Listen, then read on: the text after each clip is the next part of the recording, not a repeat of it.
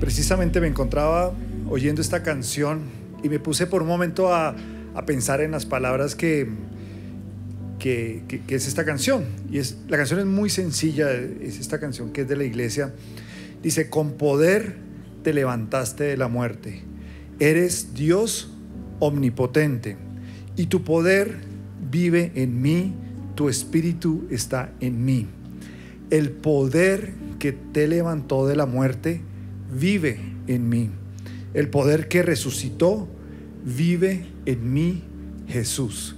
Qué tremenda declaración de canción y, y me puse a pensar si verdaderamente nosotros creemos que ese poder que resucitó a Jesús de entre los muertos, que vive en nosotros, lo conocemos de tal manera. Y yo creo que, que si usted trajo para algo, porque apuntar, y si trajo, sí, si tiene sus, sus apuntes ahí, le hicieron caso al pastor, porque el pastor nos regañó el fin de semana, dice, desgraciados sin gracia que no toman apuntes. Tomen por un momento ese, ese lápiz, ese esfero que tiene ahí y piense, bueno, si yo tengo este poder que me dio el Todopoderoso, ¿qué puedo hacer yo con ese poder? Entonces piense ahí, escriba, ¿qué haría yo con ese poder? Y decían en la, otra reunión, no va a pensar, sí, yo quiero el poder de la Mujer Maravilla para tener un avión invisible, yo quiero ser como Batman para tener un carro negro y por la noche salir y que todas me saluden. No, piense, ¿para qué utilizaría ese poder? Tampoco piense, no, ese poder eh, lo quiero, ¿se acuerdan de... ¿Se acuerdan del Salón de la Justicia, de los superhéroes que tenían poder? ¿Sí? ¿No? ¿Quién se acuerda de esto? ¿De quién son de mi generación? Eso, eh. ¿Se acuerdan de Aquaman? ¿Sí? ¿Se acuerdan de Flash? ¿Se acuerdan de los gemelos fantásticos? Decían, por el poder de los gemelos fantásticos, actívense en forma de pelota. Entonces muchos ya se les concedió el milagro. Pero piensen, no se distraigan conmigo. ¿Se acuerdan de Massinger? ¿Sí? Centella. No, están ustedes muy, son muy jóvenes para mí. Pero bueno, ¿qué harían con ese poder? Y ese poder a veces uno dice, no, ojalá que ese poder, con ese poder mataría a mi marido, que es un sinvergüenza, o acabaría con mi jefe, con ese poder acabaría con él. Otros dirían, no, ese poder para acabar mis problemas financieros, ¿cierto? O para llenar esos faltantes que, que tengo por falta de papá, de mamá.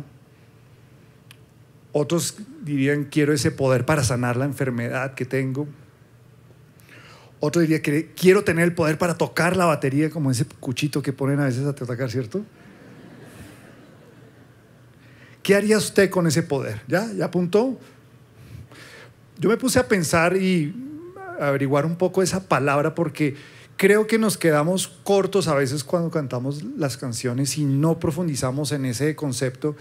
Y yo quise ir más allá y dije, bueno, vamos a coger esa palabra y vamos a entenderla. Entonces el significado que encontré de poder, ¿qué es poder? Es el siguiente. Poder es la fuerza y capacidad para hacer que algo suceda. Simple, ¿no? Entendible. Pero es muy profundo. ¿Qué tipos de poder existen? Tenemos el poder que es la capacidad de hacer algo. Entonces ahí es donde nosotros vemos que nosotros tenemos por, por eh, la fuerza que tenemos, esa fuerza bruta, ¿no? Qué, qué bruto, qué fuerza, no, sino la fuerza que tenemos para hacer cosas. Ese es el poder que tenemos. La fuerza humana. Otra clase de poder es el poder de ejercer dominio o supremacía sobre otras personas o sobre otras cosas del mismo tipo. Y está, por ejemplo, el poder de los países industrializados, que esos países tienen un poder sobre los otros países que no son tan desarrollados. O está el poder del conocimiento. Se sabe que si una persona tiene conocimiento y eh, está frente a otra de menos conocimiento, pues tiene más poder. Está el poder también y la habilidad para influir sobre una persona o sobre un grupo de personas. Está, por ejemplo, el poder de la televisión, que nos que influye tanto que puede cambiar nuestra mentalidad o simplemente cambiar lo que pensamos. Ese poder se llama el poder para influir. Y el otro poder, el otro tipo de poder es el poder que indica la autoridad suprema reconocida en una sociedad. Por ejemplo, el poder de Dios o el poder del Estado o el poder de ese jefe que usted no quiere y que quisiera a veces acabarse o no. ¿Qué ejemplos vemos en nuestra sociedad con respecto a este poder y cómo es usado? Y eh, podemos ver que el poder tal vez que en este momento es más importante alrededor de nuestra sociedad es el poder del dinero. Y se sabe que el que tiene el dinero tiene el poder. Por eso dicen que esos grupos económicos o las personas con mucho dinero lo que hacen es que dominan sobre otras personas, dominan sobre las cosas, dominan inclusive sobre las leyes, sobre los principios. Y este tipo de poderes es tal vez el que en este momento está más marcado. Y, están revaluando mucho acerca de eso porque pues, no es justo que el que tenga más plata sea el que tenga más poder, ¿cierto? Pero ese es el mundo en el que estamos viviendo, el poder del dinero. También está el poder de la información. Y se sabe que el que está informado, el que conoce las cosas de primera mano, los noticieros que están ahí de primero con la información, son los que tienen el poder. O si no, vaya usted a una reunión que tiene que, usted pueda tener alrededor de, de, su casa o en la oficina y el que viene con la última noticia es el que tiene poder. Sí sabe que ya abrieron el puente ese que se cayó la carretera y es el que tiene el poder. ¿Cómo así? Yo no sabía, no había mucho bruto, usted tiene que ya pasar por ahí porque eh, se evita el trancón. Esa persona en ese momento tiene el poder. El poder del conocimiento. Si usted es una persona que, que lee, que realmente se, se prepara para conocer más, pues usted normalmente tiene más poder. Las personas que tienen la oportunidad de ir a la universidad y estudiar y tener más conocimiento tienen más poder. El poder político, y lo vemos hoy en día, esos grandes choques entre eh, fuerzas y creencias políticas que se, que se, que se juntan o, o luchan entre sí, es un poder y a veces ese poder pues está bien usado, a veces no está bien usado. Hay muchas clases de poder, pero me, pareció interesante también destacar este. Se llama el poder de la vanidad. Y es ese poder que tiene simplemente el hecho de, querer cada vez verse mejor, inclusive tratar de verse como usted no es y que lleva a las personas a tomar decisiones de casi cambiar su cuerpo entero simplemente por vanidad, por querer verse mejor. Y es interesante que los médicos digan con respecto a la vanidad, especialmente los cirujanos plásticos, es el único momento en el cual una persona sana entra a la clínica y sale enferma. ¿Se han visto? Porque las personas entran perfectas, pero como quieren que les cambien todo, entonces las rajan, las cortan, le hacen de todo y salen enfermas, salen todas llevadas seis meses para recuperarse. Eso sí, cuando se recuperan fotos por todos lados. Y hay muchas más clases de poder y ese es el poder que estamos viviendo en nuestro entorno eh, social, eh, es lo que vemos nosotros y, ahí vemos claramente que este poder puede ser utilizado para cosas buenas, pero también para cosas malas. Y, y tenemos que entender que, que Dios nos ha dado poder a nosotros, pero la mayor de las veces una persona sin Dios usa ese poder para cosas malas. ¿Por qué las personas sin Dios quieren tener poder? Y aquí tengo algunos ejemplos. Primero, para ejercer supremacía. Supremacía es creerme más que otra persona. Simplemente yo quiero eh, tener más estatura, creerme más y, y dominar sobre otras personas. Y para eso las personas quieren el poder. También para generar beneficios propios. Todo para mí, todo para mí, todo para mí. Y si sobra, también para mí pero no, no, no lo comparten, no quieren sino eh, beneficios para ellos mismos. El poder para, para dominar sobre otras personas. Y finalmente ese poder, y lo podemos concluir en esta frase, es la gente quiere tener poder para hacer lo que se le da la gana. No quiere tener límites, no quieren tener nadie que le diga diferente, quiero poder para poder hacer lo que a mí se me plazca.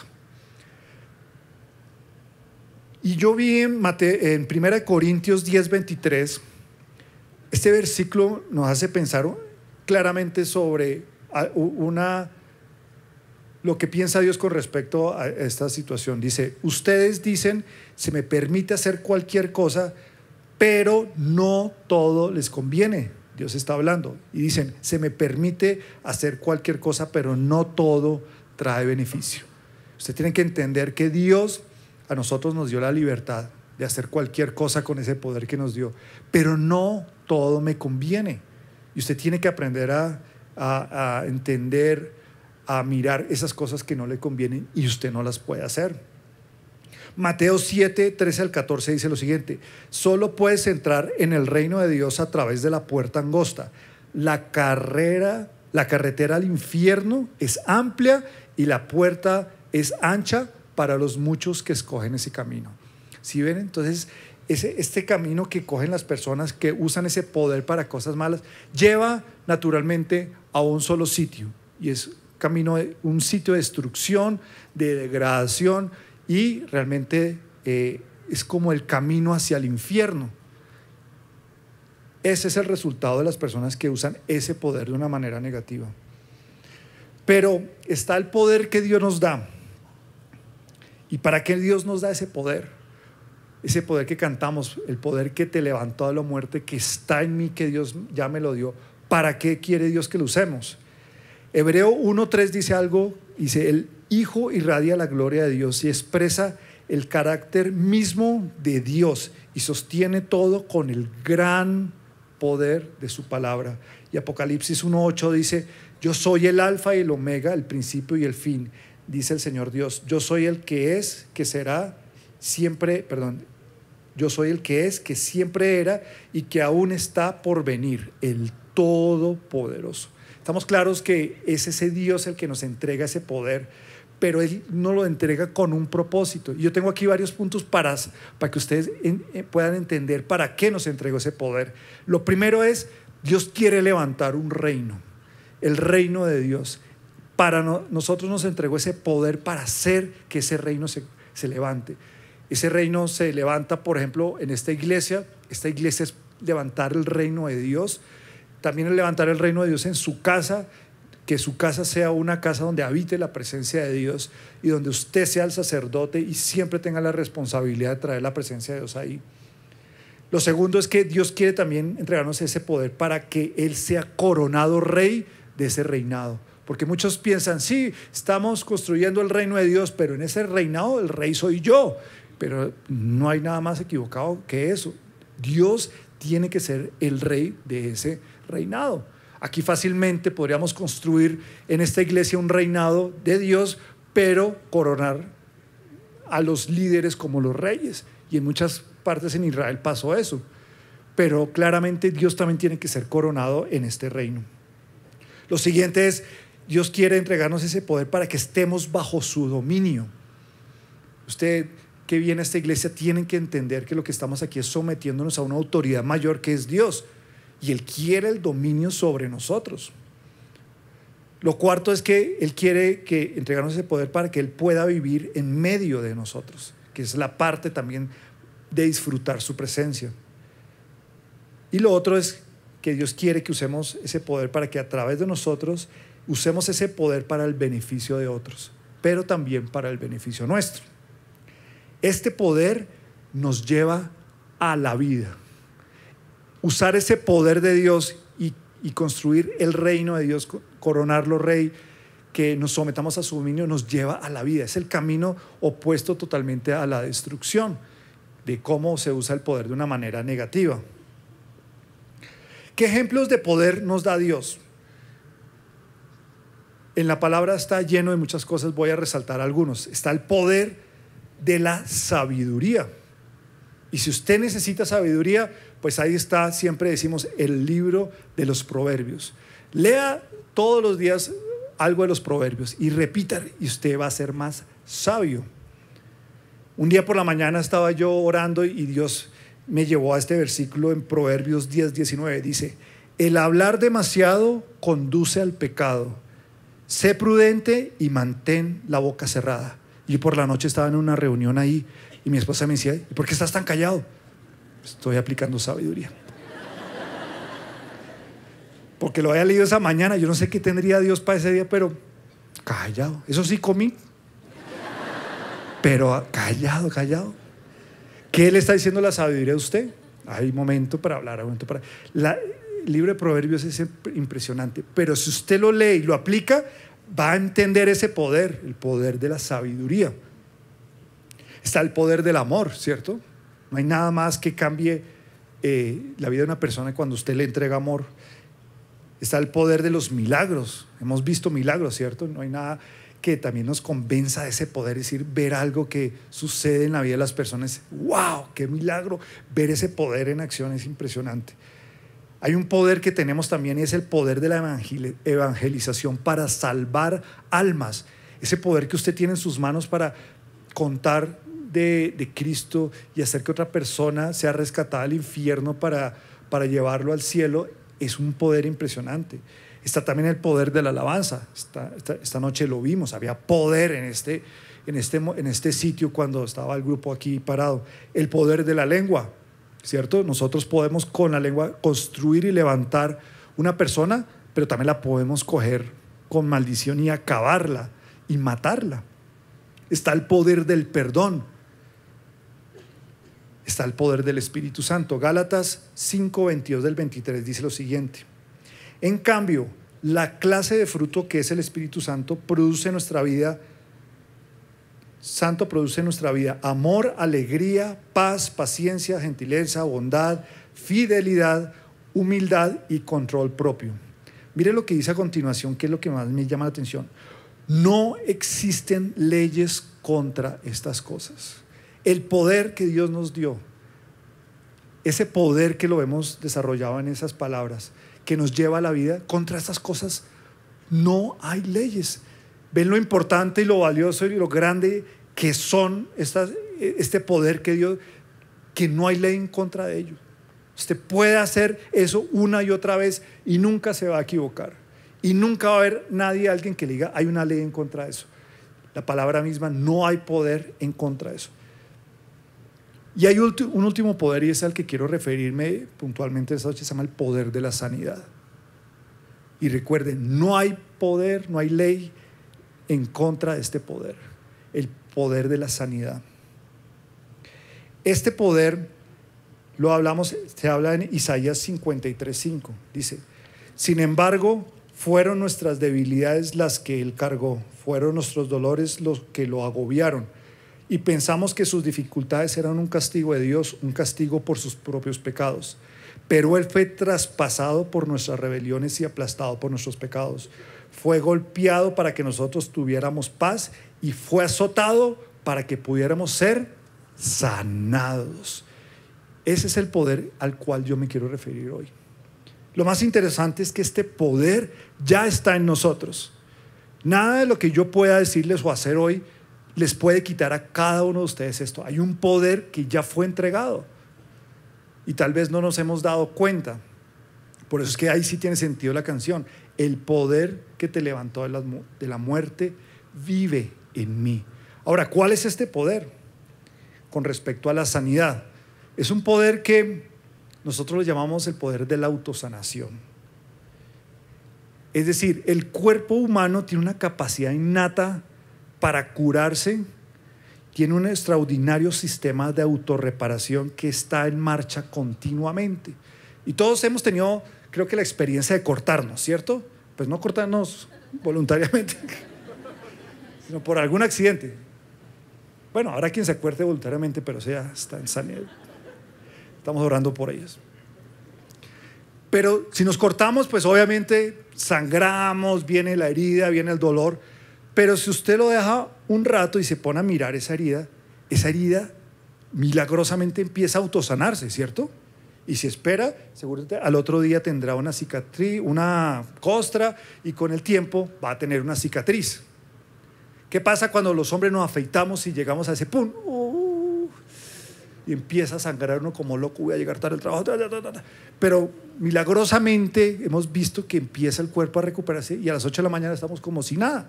Pues aquí con un poquito ahí de cremita y todo, pero empieza el cuerpo humano a ejercer su propia capacidad de autorregenerarse. Las personas que se han roto un hueso saben de qué estamos hablando. El médico lo único que hace es que le pone un yeso, pero el yeso no es el que sana, el yeso lo único que hace es que eh, inmoviliza y después de unas semanas el mismo hueso empieza a pegarse, empieza a sanarse. Aunque las medicinas que encontramos hoy en día alivian los síntomas del resfriado, es nuestro propio cuerpo, nuestro propio sistema inmune el que hace que recuperemos la salud. Si ven que el poder que Dios nos dio, el mismo poder que levantó a Cristo la muerte, está en mí y está para sanarnos y está ahí y nos está sanando permanentemente y constantemente está trabajando para sanarnos. Y muchas veces no habíamos pensado en esto. Y a veces, ¿sabe qué pasa? Nuestro cuerpo no se sana. Y nos preguntamos, bueno, ¿qué pasa? Alguna explicación es que a veces actuamos en contra de ese mismo poder. De ese mismo poder que Dios nos ha entregado. Y, cuando actuamos en contra de este poder, ese asombroso sistema que tiene para sanarnos se inhibe y ya no funciona. Lo más interesante es que en el caso más simple, por ejemplo, la cortada, no importa cuánto ore o cuánto usted deje orar, el cuerpo se sana. Pero, ¿qué pasa cuando nosotros estamos actuando en contra de este poder? Cuando estamos caminando hacia el lado opuesto, ya vimos que la Biblia dice, llega a un lugar que ya determinamos se llama la destrucción. Y esto pasa cuando comemos mal, cuando no hacemos ejercicio, cuando no descansamos y nos enfermamos. Yo creo que también hay que reconocer ese plan que tiene el enemigo para acabarnos a través, por ejemplo, de, del poder de que es la comida. Ese poder obviamente está hecho para que nosotros nos alimentemos y tengamos una buena vida, pero a veces cuando lo usamos mal y comemos y comemos y comemos y comemos, ¿qué pasa? Nos lleva a la destrucción, la obesidad, el famoso problema de los triglicéridos, de del colesterol, de todas esas cosas que son males muy comunes. Y lo único que estamos haciendo es de, impidiendo que el sistema nuestro funcione naturalmente y lo inhibimos. En otras palabras, necesitamos darle a nuestro cuerpo los recursos que necesita para curarse y, y permanecer saludable. Muchas personas piensan inclusive que lo que tienen que hacer es acostarse y ver televisión para que uno se cure y se sane, pero a veces la misma cama es lo que lo enferma a las personas. Yo me acuerdo de una persona que estaba enferma y tuvo un accidente y le tuvieron que operar de la columna, pero para operarle la columna tenían que llegar por el frente porque si le tocaban la columna eh, podía quedar eh, eh, incapacitado, entonces le tuvieron que sacar todo lo al frente para poder llegar hasta ahí y después metérselo. Imagínense el dolor que puede sentir esta persona cuando estaba tratando de, de recuperarse. Pero como tenía que estar en cama, llegó un momento que dijo, no, la cama me está enfermando, yo tengo que pararme y aunque el dolor lo tenga ahí, tengo que llevar esto y sanarme, pero lo único que tenía que hacer es pararse y caminar. A veces lo que usted necesita simplemente para volver y encaminar ese poder de sanidad es ir y caminar hacia en el parque, hacer ejercicio. Usted sabe que cuando usted hace ejercicio, una dosis importante de endorfinas es liberada en el organismo. Ustedes saben qué son las endorfinas, ¿no? Le llaman la hormona de la felicidad. Y eso lo que hace es que cuando usted llega a hacer ejercicio se siente como feliz, como súper chévere. Y eso es lo que tenemos que hacer. Trabajar para liberar esas endorfinas, porque esas endorfinas generan el sentimiento de bienestar y alegría. Y ahí estamos dejando que ese poder de la sanidad se, eh, eh, este, se vea eh, actuando en nosotros. Si todo esto no los convence, porque ahora era este tipo de que está hablando, eh, tuve la oportunidad de ver una película recientemente, se llama Gifted Hands o Manos Prodigiosas, que viene la historia de una persona que se llama Benjamin Salomon Carson. Es una persona creyente, este libro eh, lo consiguen, eh, no, sé si está en la librería, pero es un libro cristiano, posiblemente está por ahí fácil. También hay una película, si quieren verla. Este, este señor, pues ya les cuento un poco más de él, pero eh, se piensa nominar como candidato a la presidencia de Estados Unidos en el 2016. Pero su testimonio más importante es que él es un neurocirujano y creo que es el neurocirujano más importante en el mundo. Esta persona eh, tiene una vida, en su libro lo cuenta, una vida muy, muy, eh, muy difícil. Es una persona de color y por ser persona de color, pues sufre las presiones de, la sociedad y él mismo cuando era pequeño pensaba que no iba a hacer nada, que, que él, no sabe, que él era bruto y eh, empieza a vivir una serie de circunstancias en su vida, tenía una, un temperamento también difícil y decide en un momento dado eh, leer proverbios y solamente leía proverbios, proverbios y eso lo ayudó a superarse. Tuvo una mamá que también lo fortalecía mucho y llegó realmente a ser, y él mismo dice que Dios le dio esas manos prodigiosas y ese talento y llegó a ser uno, tal vez el mejor neurocirujano del mundo. ¿Y por qué, por qué lo mencionó a él? Porque él es, él es este médico, tuvo la, la capacidad de hacer dos cosas por las cuales se conoce más, que todo, es coger unos bebés siameses, operarlos en la cabeza y separarlos y que vivieran. Y hoy en día eh, es muy conocida esa, esa, operación y hoy en día esos famosos bebés viven y, y la separación eh, fue un éxito y fue un logro de la ciencia impresionante. Adicionalmente también logró eh, trabajar con una niña que, que sufría de epilepsia y por esos trastornos convulsivos la niña estaba perdiendo la capacidad de hablar, caminar, pensar, etc. Y eh, cuando se lo llevaron a él, él estudió el caso y me dijo, lo único que hay que hacer es quitarle la mitad del cerebro. Y los papás decían, pero ¿cómo así? ¿Eso es posible? ¿Será que quitando el cerebro se va a sanar? ¿Será que algunos de nosotros necesitan quitarnos mitad del cerebro para que sanemos de esas cosas? Y los padres obviamente decían, bueno, ¿y esto funciona? Explíqueme por qué funcionan estas cosas. Y él dijo algo muy, muy, muy,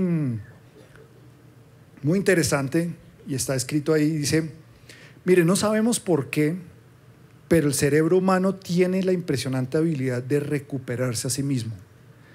Después de remover parte del cerebro enfermo, las células sanas toman la función de las células malas y reconstruyen la función neurológica. Interesante, ¿no? Y uno dice, no entiendo por qué, pero eso pasa. Él operó claramente, hizo esta intervención, se llama hemisferectomía para los que son más estudiosos, y es básicamente pin, cortar mitad del cerebro y quitárselo. Y operó esta niña, ¿y qué pasó? las células se regeneraron. Y esta niña hoy sobrevive y es un caso de la ciencia impresionante. Me dice, sin tercero, y el resto simplemente se autorregeneró.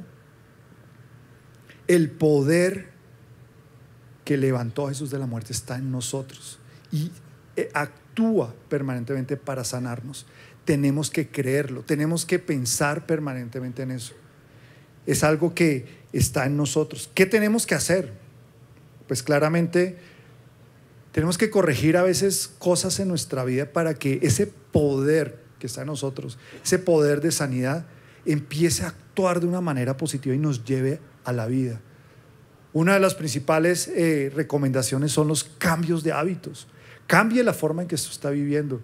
Entienda cuando su cuerpo, usted le está entregando los recursos para que se pueda autorregenerar y sanarse solo por ese poder que Dios nos dio y cuando usted está haciendo cosas negativas que lo están llevando a la destrucción.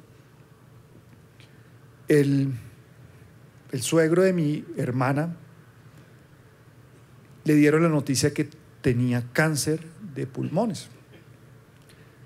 Eh, él fue una persona que fumó y obviamente pues el resultado fue, fue este efisema que, que le diagnosticaron. Y el médico en ese momento le dijo, usted tiene seis meses de vida. Obviamente una noticia devastadora. Nadie espera que le digan, usted se va a morir en seis meses. Ellos decidieron tomar la decisión de cambiar los hábitos. El médico les dijo, ustedes tienen que entender que, por ejemplo, el azúcar es el combustible del cáncer. Usted diría, uy, pero entonces, toca guardar el chocorramo, el yogur, todo esto. Posiblemente sí, porque todo, obviamente todos los productos, todos los alimentos que están en el mercado están encaminados a llenar nuestra satisfacción de sabor, pero no son saludables para nuestro cuerpo. Entonces ellos empezaron a cambiarle la dieta a este señor y empezaron a suprimir el azúcar, eh, eh, empezar a alimentarse sanamente, a cambiar, cambiar. Pues como resultado él lleva siete años después de que le dieron esa noticia. Y está, pues tiene cáncer todavía.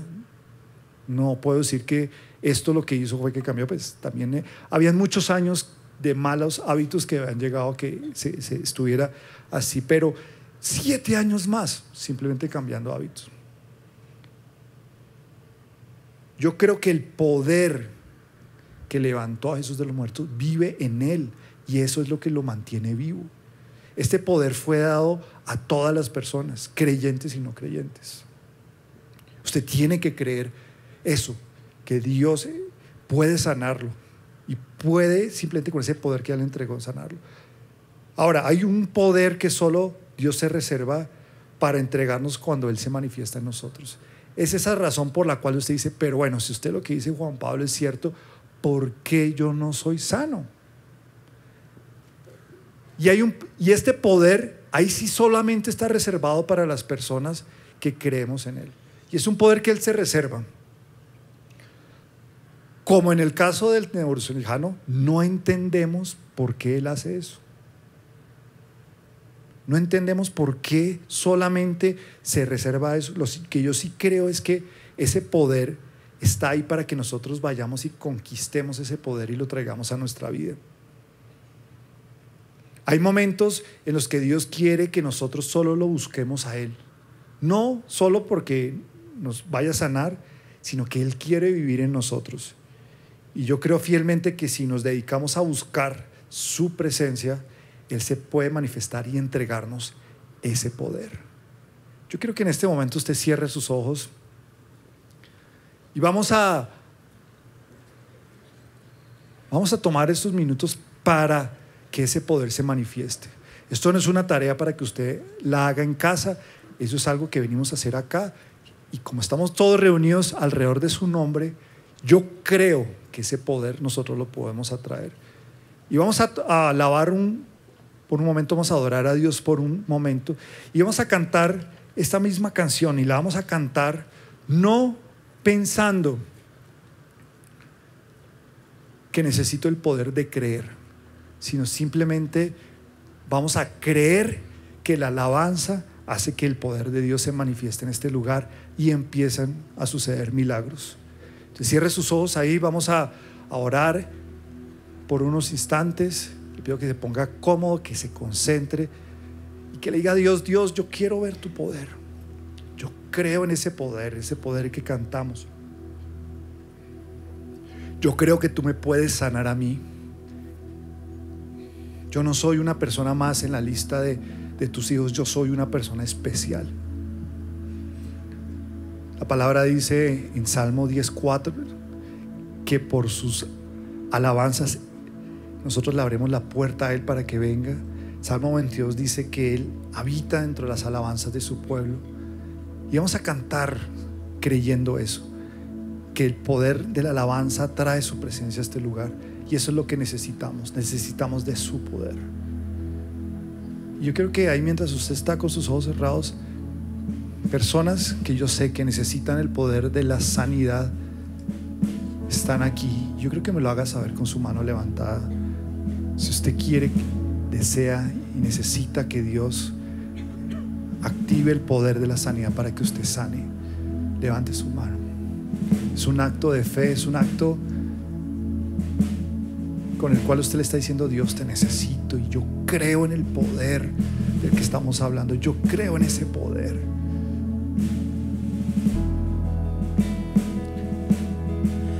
Con poder te levantaste de la muerte, eres Dios omnipotente tu poder vive en mí, tu espíritu está en mí poder te levantaste de la muerte. Eres Dios omnipotente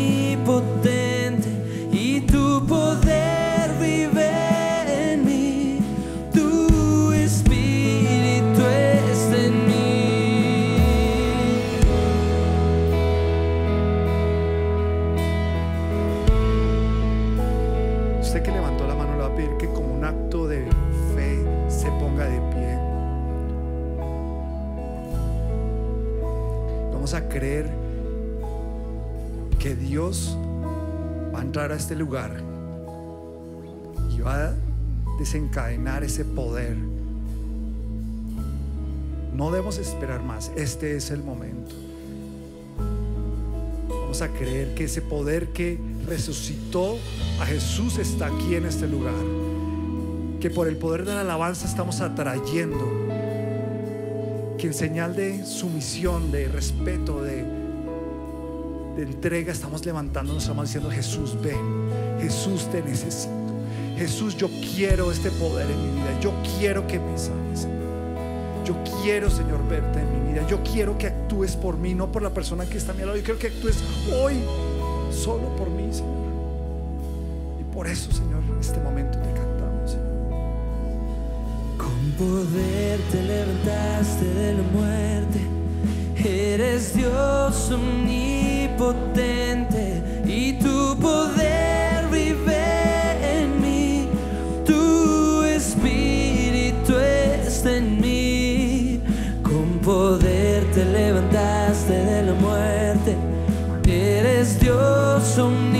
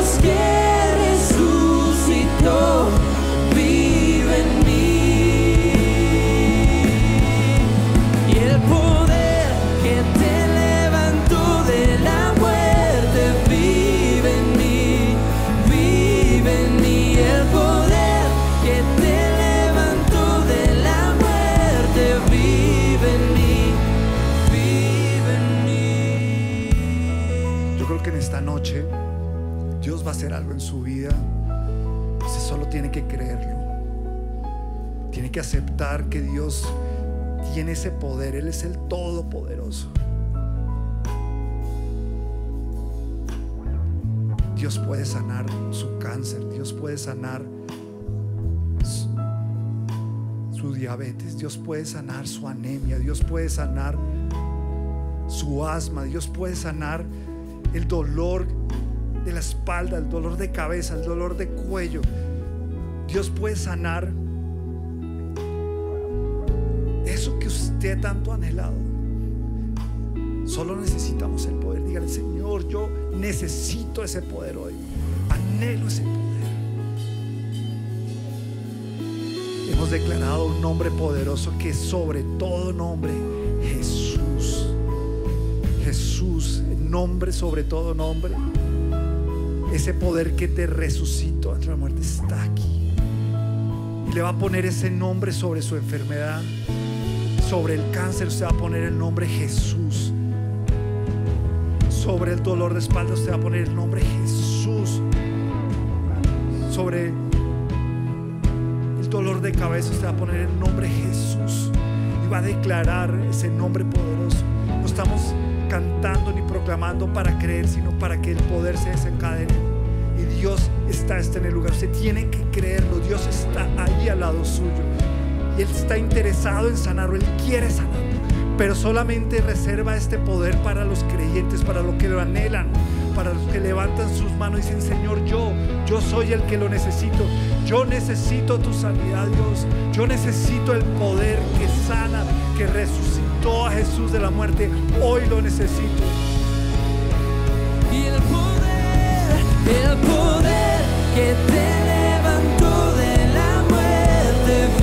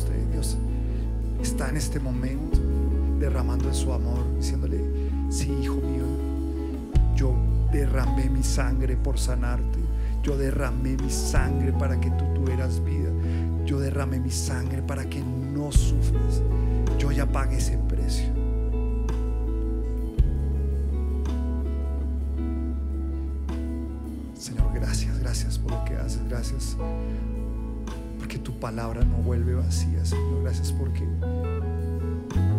estás desvelando un poder que nunca antes visto, Señor. En tu gracia, Señor. Declaremos por última vez su nombre, Jesús, Señor. Jesús. Suavemente, como un pequeño susurro a sus, a sus oídos.